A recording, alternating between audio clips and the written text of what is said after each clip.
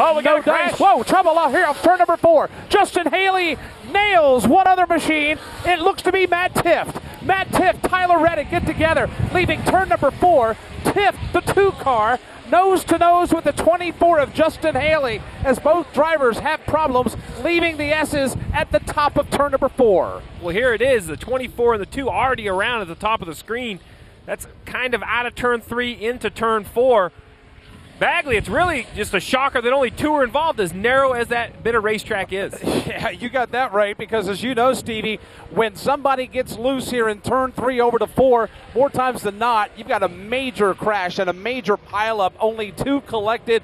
Justin Haley dropping the window net. He's okay, but that car is torn to pieces. His day is done this afternoon at Watkins Glen.